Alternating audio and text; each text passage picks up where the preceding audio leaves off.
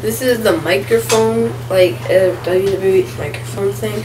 It has three names on it. John Cena, which is yellow, Undertaker, which is blue, and Rey Mysterio, which is um Red. red, yeah. And here's the trick how to make noises. If you're talking to it, it'll, it won't make noise. If you just press it, will be your last ride. it says I'm a stuff bad, like bad that. man. And Rey Mysterio, pero en it's serio. trick to make it sound weird voices. You hold um, one of the buttons down for about 10 seconds and talk into it like this. It'll change to a weird voice. And this is the Undertaker voice. Yeah, bend down for a second. This, th- uh, light. this is the John Cena voice. Okay, wait, whoa, whoa, whoa, whoa.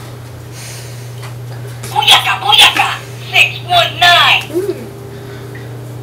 And this is the Rey Mysterio voice. Bye! That sounds like that kid.